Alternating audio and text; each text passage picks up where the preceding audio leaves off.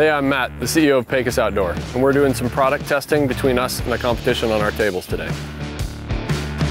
The Pecos table, so strong you're gonna have to leave it in your will to your kids.